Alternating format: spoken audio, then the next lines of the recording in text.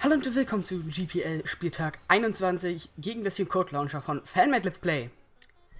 Ja, das Teambuilding-Video sollte gestern online gekommen sein. Das heißt, wenn ihr euch für die genauen Sets meiner Pokémon interessiert, könnt ihr da gerne vorbeigucken. Da wird alles von meinem Team ausführlich erklärt und ja, hier werde ich dann nur aufs Matchup eingehen. Ich habe auf jeden Fall dabei mein Ordoch, mein Tanatora, mein Voltenso, mein Skorgler, mein Starmie und mein Victini während Tim dabei hat einen Miltank, ein Megaturtok, ein Fiaro, ein Shaman, ein Klefki, also Klavion, genau, und ein Rabigator.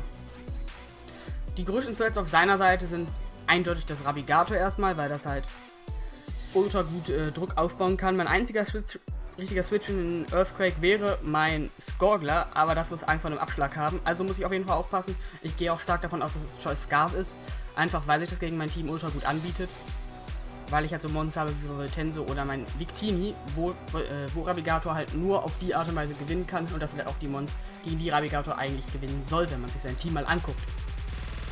Dann ist ein Problem wahrscheinlich das Miltank, weil ich da jetzt, ähm, außer mit Toxin oder meinem Voltenso wahrscheinlich nicht allzu viel, oder Starmie natürlich und im Burn, wahrscheinlich nicht allzu viel Schaden drauf bekomme.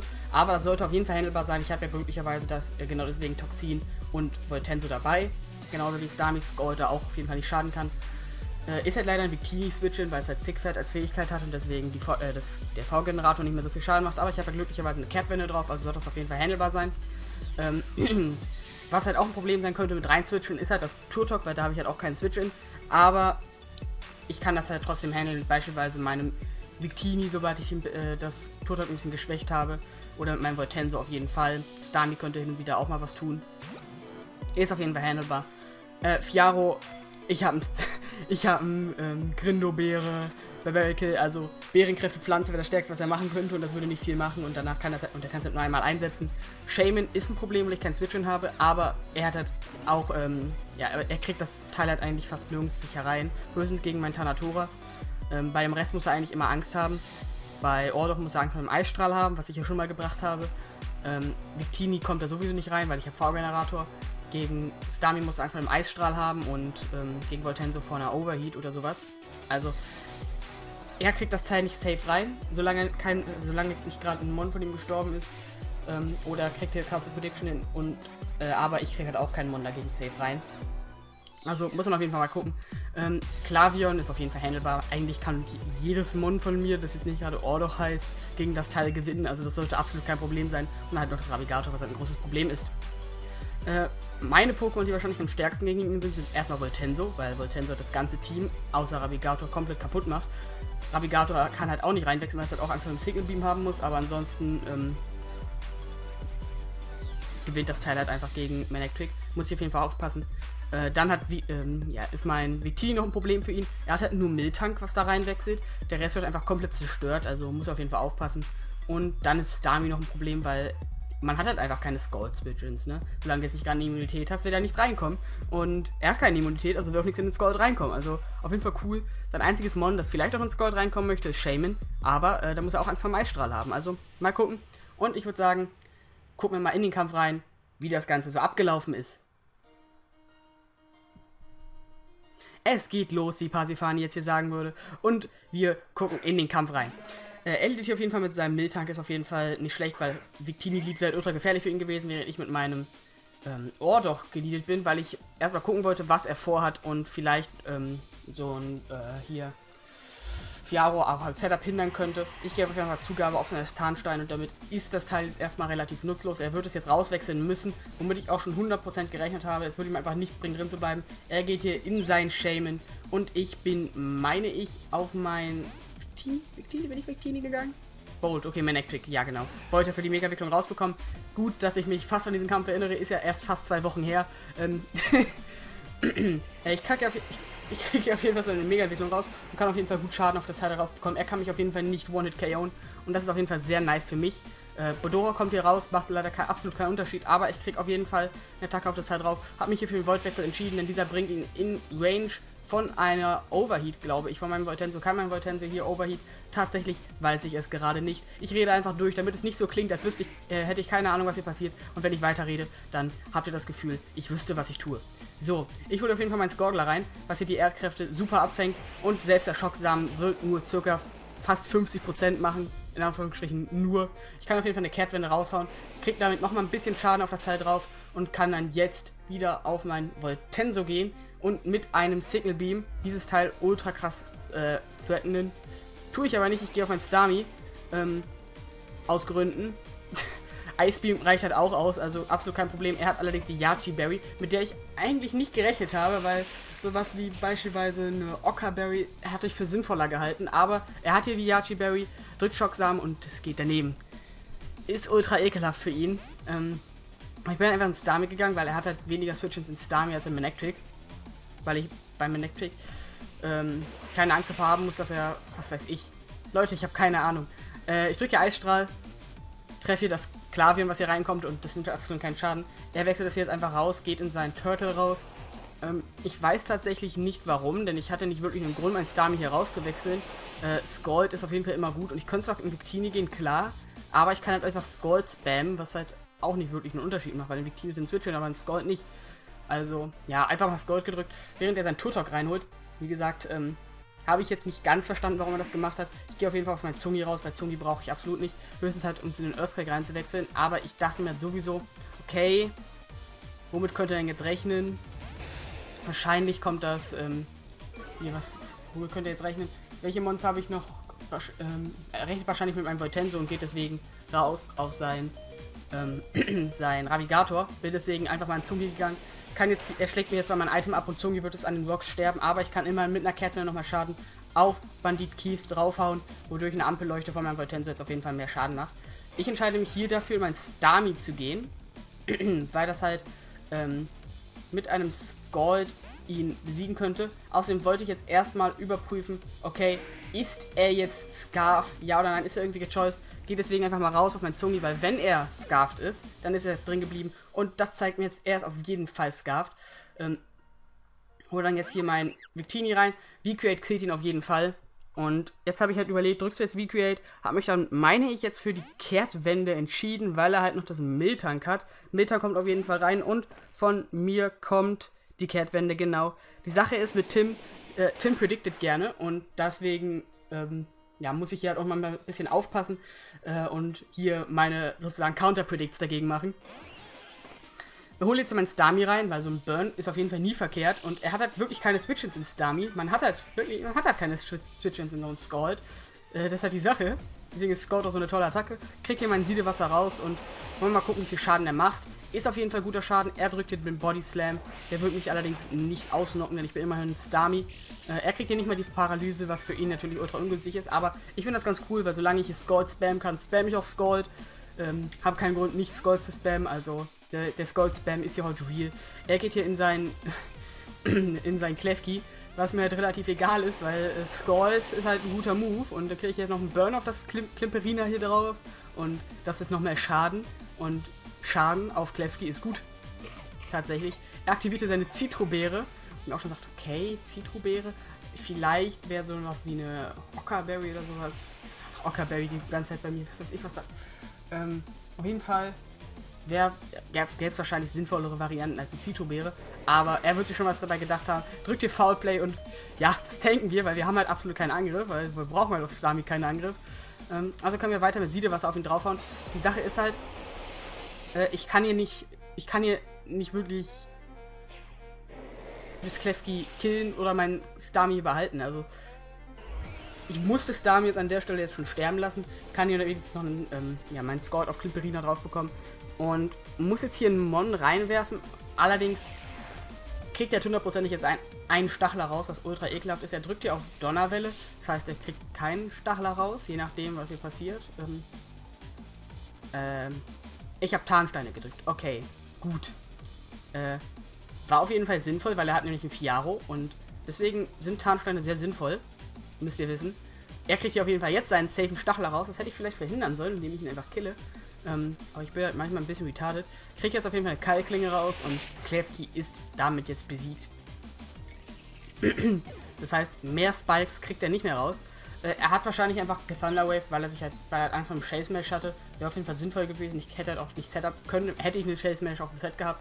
Äh, er holt jetzt auf jeden Fall sein Shaman rein und auch mit der Grindo Grindobeere überlebe ich keine Schocksamen. Gehe deswegen raus auf Liz. Liz brauche ich am wenigsten und ja, er drückt sogar Erdkräfte, das heißt Liz tankt dann noch einen Schocksamen. Was auf jeden Fall sehr vorteilhaft ist. Weil die Sache mit Schocksamen ist halt, er hätte halt Death Drops bekommen können. Die sind halt sehr wahrscheinlich. Hier kommt jetzt auch sein Schocksamen. Der macht ultra guten Schaden, aber wir überleben ihn, obwohl es ein Quit ist. Und wir können hier nochmal mit einem Abschlag auf dieses Shaman raufhauen und das Shaman kaputt machen. Damit hat auch noch einen Shaman-Kill bekommen. Auf jeden Fall cool. Hat es dann nur bekommen, weil, ähm, ja, warum eigentlich? Nee, ich, ich laber scheiße. Hört mir nicht zu. Er holt auf jeden Fall hier seinen Milka wieder rein.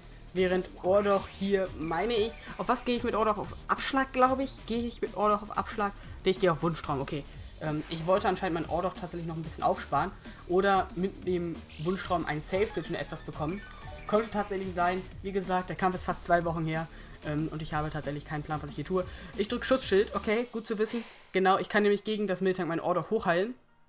Ich kriege nochmal Tarnsteine raus, natürlich ekelhaft ist, aber ich kann gegen dieses äh, Miltank meinen Ordoch nochmal hochheilen braucht halt irgendwo den Knockoff, um das, äh, den, äh, pff, um den Scarf von dem Bandit Keith runterzuhauen. Er kriegt hier nochmal seine Toxic raus und ich kann hier nochmal auf Wunschtraum gehen und krieg damit dann einen Safe Switch in eins meiner Pokémon. Ich kann mir genau aussuchen, welches. Und ich glaube, ich entscheide mich für meinen Voltenso. Es könnte tatsächlich auch sein, dass ich mich für meinen äh, Victini entscheide, wenn ich das, äh, wenn ich das Ravigator predikte.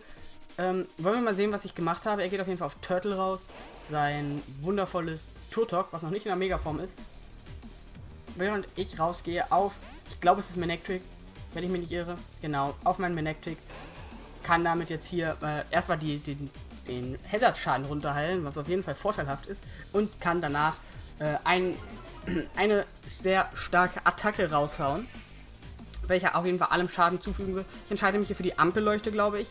Äh, einfach weil ich Angst vor Ravigator hatte und ich nicht dachte, dass er hier so einen Totok einfach äh, sterben lassen möchte, weil es halt noch irgendwo ein bisschen praktisch sein könnte, falls er seinen Miltank verliert. Aber äh, er bleibt hier drin, bleibt hier auf jeden Fall safe, will hier nicht seinen Ravigator riskieren, was eindeutig schlauer ist von ihm. ich habe auf jeden Fall Ampelleute gedrückt, einfach weil ich halt wusste, dass er viel predicted, auch wenn es manchmal nicht das Nötigste ist. Ähm, dachte mir, okay, drückst lieber Ampelleuchte. Ähm, ja, hat jetzt hier eher gebackfired und mich äh, sehr viel Schaden auf meinem Voltenso gekostet. Auf jeden Fall kann ich das Tor noch besiegen, auch wenn Voltenso jetzt ultra viel Schaden davon genommen hat, was ultra ekelhaft ist. Da bin ich halt selber schuld. Er kann ja wieder Bandit Keith reinholen und kriegt hier wieder einen safen Kill eigentlich, weil ich habe halt keinen Switch in den Earthquake. Jetzt da Skorgler schon besiegt ist. Äh, ich entscheide mich jetzt hier dazu, glaube ich, mein Ohr doch abzuwerfen. Ja, was vielleicht wieder nicht die schlauste Idee war, weil ich brauche halt eigentlich mein Ohr doch, um den Abschlag auf das Teil drauf zu bekommen. Ähm, ja, ist halt ein bisschen kacke gelaufen. Er kann, glaube ich, ja, er drückt hier auf Erdbeben. Hab halt, wie gesagt, keinen Switch da rein. Also wäre sowieso was gestorben. Aber Liz war wahrscheinlich nicht der beste, ähm, ja, der beste Stack an der Stelle. War ein bisschen dämlich. Und damit ist Ordok jetzt weg. Eigentlich brauche ich halt Ordok mit für den Abschlag. Aber das Teil ist immer noch handelbar, denn es macht nicht genug Schaden, um mein Beberical zu one-hitten. Das heißt, ich, kann jetzt, ich könnte mein Beberical noch dafür benutzen. Ich kann auch meinen Bikini benutzen. Je nachdem, was gerade sinnvoller ist. Ähm, Victini kommt jetzt auf jeden Fall rein, nimmt Ultraschaden durch alle Hazards. Und er muss hier wieder rauswechseln. Er weiß halt 100%, dass ich Scarf bin, weil sonst würde ich nicht meinen Victini da reinhauen. Während er jetzt einfach in seinen Milka, äh, Milka gehen kann, seinen Miltank, äh, und der V-Generator wird absolut nichts machen. Ich bin hier an der Stelle, glaube ich, auch für den V-Generator gegangen, falls äh, weil ich Angst hatte, dass er die U-Turn predicted und drin bleibt. Äh, V-Generator kommt jetzt auf das Miltank drauf. Miltank nimmt ganz brauchbaren Schaden, aber es ist einfach nicht, nicht genug. Und ich denke jetzt einfach, okay, spammst du einfach dein V-Create äh, und hoffst, dass er jetzt hier irgendwelche Kacke baut oder Toxin drückt oder was weiß ich. Oder wieder zurück auf Navigator wechselt, weil er das Manectric predicted, warum auch immer er das tun sollte. Er wechselt auf jeden Fall raus auf sein, äh, oder mein Bebelke predicted, kann natürlich auch sein. Er wechselt auf jeden Fall raus auf sein Mockingjay, sein ähm, Fiaro und das stirbt jetzt hier an einem V-Generator von meinem Victini. Äh, das kann ich sagen, weil das ist ein Fiaro und das hat nicht so viel Bulk tatsächlich. Nicht genug, um den V-Generator zu tanken nach Rocks. Und ja, das war es auf jeden Fall für das Fiaro auf seiner Seite. Er kann jetzt allerdings wieder free in Bandit Keith gehen. Und wenn er Verfolgung hat, kann er die jetzt hier drücken. Muss er nicht mal, weil äh, warum sollte er? Es stirbt sowieso alles an einem Earthquake. Also kann ja einfach EQ drücken und irgendwas beim Sterben zu sehen. Drückt aber trotzdem auf Verfolgung, was ich ein bisschen merkwürdig finde tatsächlich, weil wenn er Verfolgung drückt, kann er halt nicht mit dem EQ meinen Bewölke angreifen. In das ich jetzt, meine ich, auch gehe, ja genau. Ähm, die Sache ist halt, Verfolgung killt mein Manectric, weil ich halt vorhin diesen, ähm, äh, diesen Kack... Oh, weil ich halt vorhin auf Ampelleuchte gedrückt habe, statt auf äh, Donnerblitz. Tag mein Manectric halt keine Verfolgung. Das heißt, ich konnte jetzt nicht da reingehen und einfach mal auf Thunderbolt drücken oder so, was halt ultra cool gewesen wäre. Cool, wie wer das eine Kuh ist, versteht ja. Hahaha. genau. Ich habe auf jeden Fall seinen Miltank predicted und gehe zurück auf meinen Bolt. Die Sache ist halt, ich kann an der Stelle eigentlich schon nicht mehr gewinnen, denn